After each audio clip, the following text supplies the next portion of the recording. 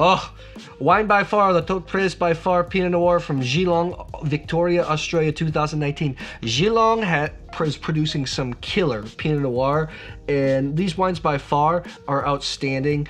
Chardonnays, the Pinot Noirs, they're not cheap. I think they're around 100 bucks if you can find them. They're real, just really, really, really classy stuff.